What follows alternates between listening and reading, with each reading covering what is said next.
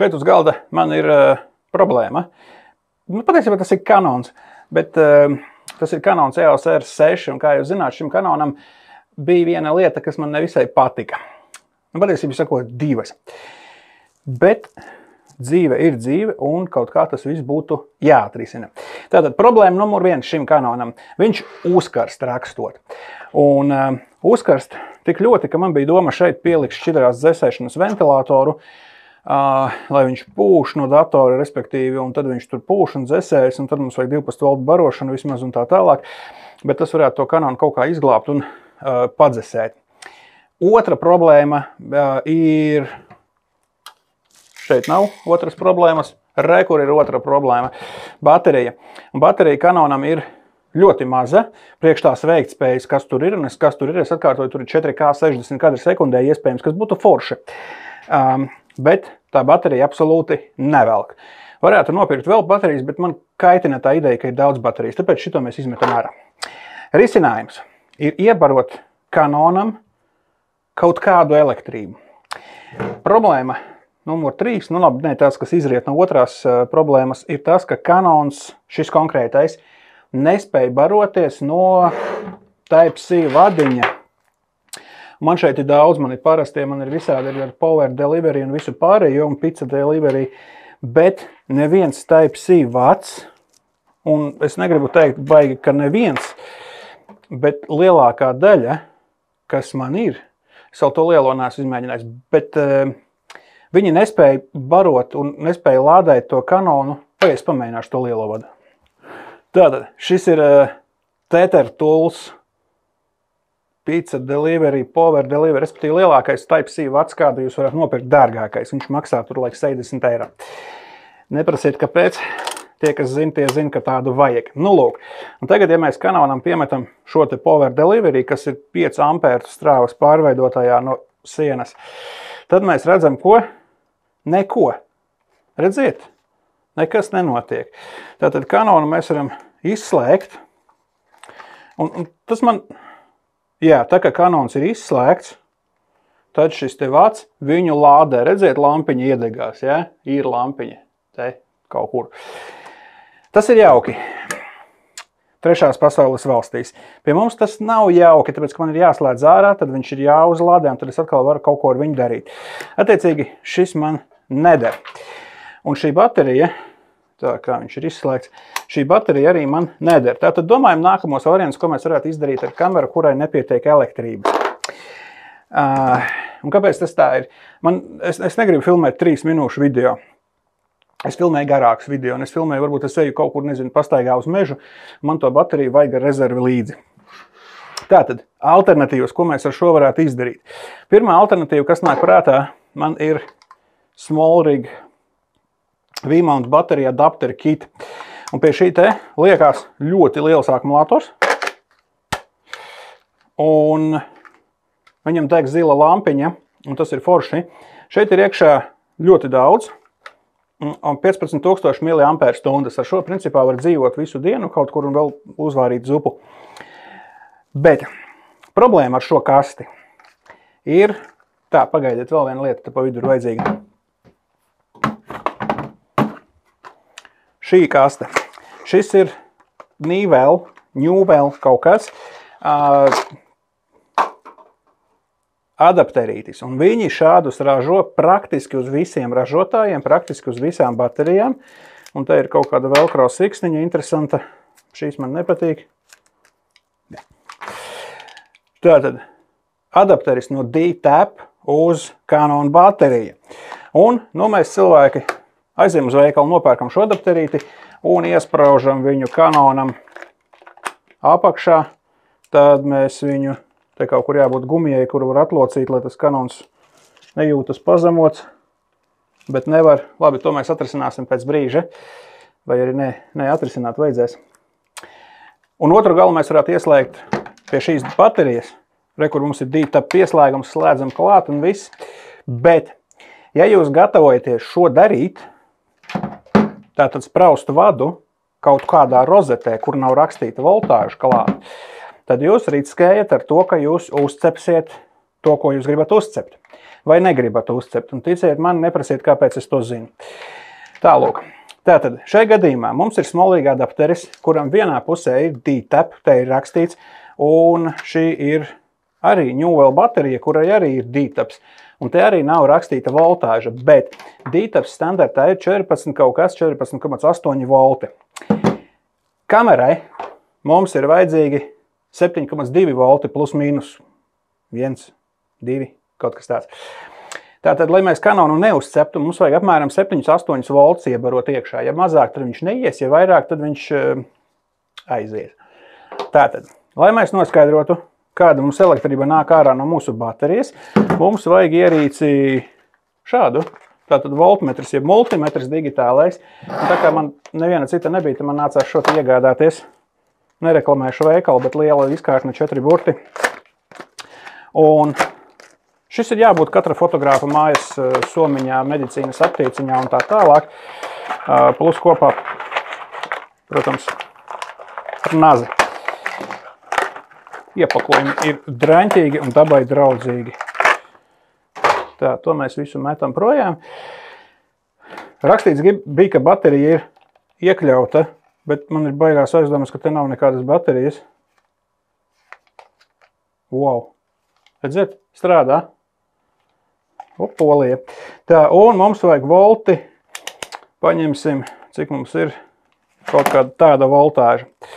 Kā rīkoties ar digitālo multimetru, tas ir vienkārši. Vajag iespraust sarkano pie sarkanā. Tā tad uh, volti, volti, volti. Un melnais mums ir masa. Tālūk, melnais mums ir mīnusiņš. Un tagad mums vajadzētu nomērīt, ko mums šitā baterija dod ārā. Un uh, baterija mums ir ieslēgta, melnais mums ir mīnusiņš un plusiņš. Tātad te mums ir viens komats. Nu, lūk, fantastiski. Redziet, jūs redziet, neredziet? Redziet, ja? 16,5 volti. Tātad 16,5 volti kanonā varētu pat dūmus novērot īstenībā. Tagad izmērīsim Smallriga šo te DTAP versiju, ko viņi te mums piedāvā. Un te mums arī ir 16,5. Tātad šis ir drošs veids, kā nogalināt jūsu fočiku vai video vai vienalga kādu kameru. Šim uh, konkrētajam smolrigam vēl ir apakšā parastā tātad, uh, nu, tie apaļie štekerīši 12 volti un 8 volti. 12 volti arī ir paredzēti, lai nogalinātu jūsu kameru. Bet ar viņiem var barot monitorus, kas ir forši. Un blakus ir 8 volti, pārējie ir aizlīmēti, kā jūs redzat, tas esmu cilvēks praktisks. Tātad, ja te viss ir korekti, tad vidū mums vajadzētu būt plusiņam, un malā mums vajadzētu būt hm, Nē, otrādi. Labi, to mēs varam izmērīt savādāk. Man kaut kur šeit bija vadiņš ar pareizo galu. Re, kur bija. Tātad tas ir, tas ir vienkārši stekarīts, ko mēs izmantosim. Šitai galā mums ir Fuji šobrīd pielikts, bet to mums nevajag. Vienīgais, ko es gribēju nomērīt, ir kāda strāva nāk ārā no šejienes. Tur gan rakstīts 8 volti, bet man gribējās pārliecināt, vai tas ir dzīvē tā, kā tas ir. Tālāk mums nodara instruments pavisam praktisks. Uh, šis ir dummy baterija uz Fuji. To jūs arī varat nopirkt jebkurā veikalā, bet es viņu neizmantošu. Ziniet, kāpēc? Tāpēc, ka pirmkārt Fuji barojas no Type-C, un tas ir ērtāk. Mums iekšā ir baterija, mēs piesprāžam vienkārši vadiņu, barojam. Uh, un Fujim nevar aiztaisīt apakšējās durvis ar šo dītapu, kuram ārā nāk vats. Tāpēc citreiz. Tālāk mums ir jāveic maģiskas darbības, jānotīra mazliet vadu gals, bet tā tas ir dzīvē. Bez tam mēs to visu smuki salodēsim, neuztraucieties. Un tagad mēs to visu samontēsim. Tā, notīram vadiņus, nu pēc tam salodēsim, protams, zolīti. Ja? Un notestēsim, kas mums te notiek.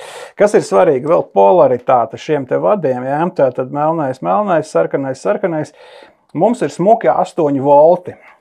Tātad smuki 8 volti nozīmē, ka šo mēs savienosim te un viss prr, kanons dzīvos. Un kanons strādās tā kā nu forever ar šo bateriju. Tagad mīkla. Šeit ir D-tap, kuram galvā mēs redzam, ka tur ir 16 volti. Tas 16 volti nozīmē, ka te var cept pankūks.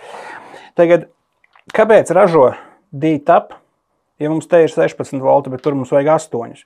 Iekšā ir kaut kāds pārveidotais, negribas ticēt, jo tā baterija Un te atkal jāliek lietā kaut kāds common sense. Ir. Tas ir tukša plasmasas baterija vienkārši, kurai ir divi kontakti.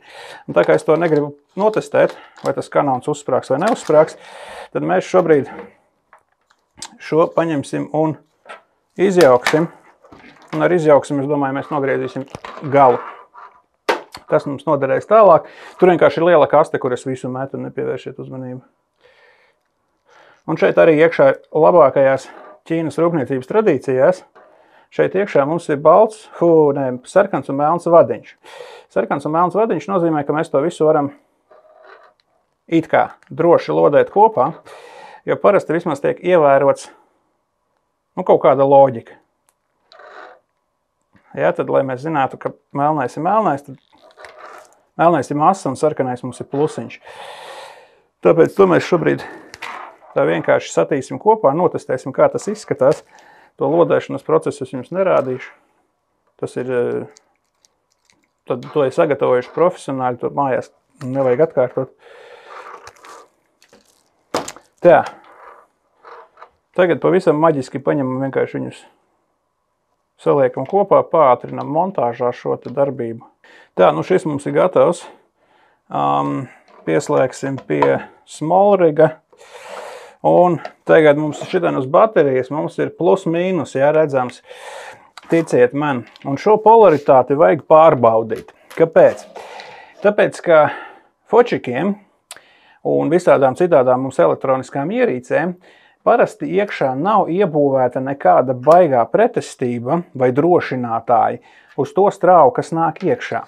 Jo ir paredzēts, ka viņam liek šito bateriju, un viņi arī ieraksta, ražotāji ieraksta uh, tajā instrukcijā, ka kamera ir paredzēta tikai šitām baterijām un viss atšķirieties. Jūs ieliekat kaut ko citu, paši vainīgi. Un es negribu būt pats vainīgs, ja? tāpēc es visu šobrīd pārčekošu. Un tas, ko es gribu pārčekot, es gribu noskaidrot, es nevaru pārāk liels tas testers ir, vai man šeit patiešām nāk ārā plus mīnus, tā kā ir rakstīts uz baterijas no šejienes, jo tad tas polaritāte varētu būt otrādi. Tagad man negribas šo bateriju salauzt, Tāpēc man vajadzēs vēl mazliet vadiņu. Un atkal, šis, ir, šis nav apgūtas zināšanas skolā, ja tas ir mūžu dzīvo, mūžu mācies. Ja tu izdzīvo līdz 40 gadiem, tad tev tas skills ir. Ja ne, tad sūdīgi. Tātad man ir smalkāks kontaktiņš, ko es vienkārši ielikšu šeit vienā slotā, vienā portā, Tad tā problēma ir pavisam triviāla. Tad, tad viņš ir, tas, tas kontakts ir pārāk mazs, lai es ar testeri, kas ir adata, varētu tur tikt klāt un izmērīt. Bet tā kā man gribas šo pavisam konkrēti pārliecināties, kā tas ir pirms es ieslēdzu to kanonu, tad es veltīšu te laiku mazliet sagatavojot divus vadiņus, lai es varētu nomērīt tā, ka viss ir korekti. 5,3. Tā, man ir baigās aizdoms, ka te tomēr varētu būt kaut kāda pretestība iekšā iebūvēta. Un tas, domāju, tas, ka to vajadzēja pārbaudīt jau uzreiz. Tāpēc drošības pēc vajag nomērīt visas ierīces sākumā, pirms jūs viņas sagriežat un izjaucat. Bet nu, tas, ka tur būtu iebūvēta baterija, fū, ka tur būtu iebūvēta transformators vai pretestība, kas to visu pārtaisa, kur man tā kaste.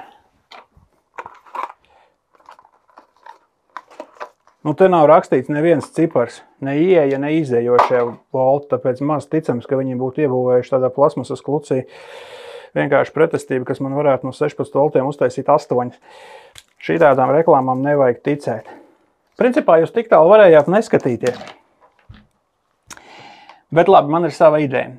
Tātad šajā gadījumā šitajā te sūda kastītē iekšā ir pretestība, kas patiešām no, no 16 voltiem uztaisa 8.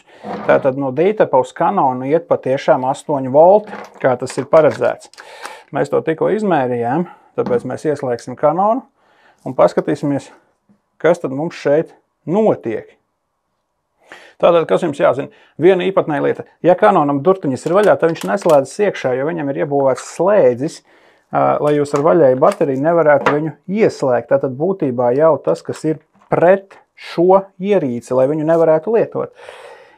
Nu, mēs viņu kaut kā tūlīt apmuļķosim. Ja te es apakšā atradu tādu mazu slēdzīti, kuru mēs varētu vienkārši nospiest ar kaut ko testām. Tā, kanons ieslēdzas, baterija rādās pilna un viss notiek. Tas ir forši. Tātad video pirmā daļa varētu būt bijusi lieka, jo, kā jūs redzējāt, es rīkojos nezinātniski, vispirms nogriezu, pēc tam izmērīju, ka tur kaut kas nesanāk, un tad es pie, pietinu atpakaļ, piespraudu atpakaļ, un tad es sapratu, ka šeit patiesībā iekšā ir iebūvēta pretestība, kas no 16 voltiem uztaisa 8 šeit. Plusiņš ņūvelam, bet viņi to varēja uzrakstīt uz kastes, tas būtu bijis foršāk un jaukāk. Bet, kāpēc otrā daļa? Tagad šī baterija ir liela, un tas ir klucis. Ja? Un tas ir, tas ir ļoti liels klucis. Un tagad man ir vīzija kāda. Šo lielo bateriju nesā, tas ir baigais, baigais smagums. Bet, ja jūs redzat uz, uz monitora, tad man šeit virsū ir LP baterija, kura baro monitoru, kurš savukārt pilda, kurš monitors risina pirmo kanona problēmu. Monitors raksta ProRes vienalga 422 LT, un kanons neraksta, tātad kanons nepārkarst, karst monitors. Un kanons var strādāt ilgāk, monitors pats par sevi strādā ilgi, un šeit ir liela LP baterija.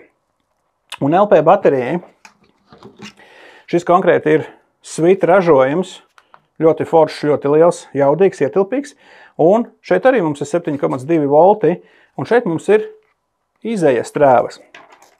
Tātad es varētu paņemt te vadiņu, un šo vadiņu ielaist kanonam baterijas vietā, šīs baterijas vietā. Un attiecīgi es varētu dzīvot, barot monitoru un barot kanonu no vienas baterijas, kuru es viegli varu nomainīt, pieliekt nākamo, un es saku, jā, mainu baterijas, bet viena lielā baterija ar monitoru un kameru turēs daudz ilgāk nekā mazā kanona baterija kamerā.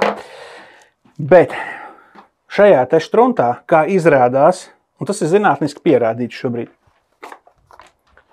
Tātad, ja jūs pērkat šo te kasti, uz kuras nekas nekur nav rakstīts, tas ir ņūvel adapteris, ja, tātad praktiski jebkurai kamerai jūs šo varat pielikt, es ielikšu linku aprakstā, kuram ir barošana no dīta, tad ziniet, ka šeit iekšā ir pretestība Es neticu, ka tur ir transformators. Tur ir pretstība iekšā, kas no šiem 16 voltiem uztaisa 8, kas ir derīgi jūsu kamerai.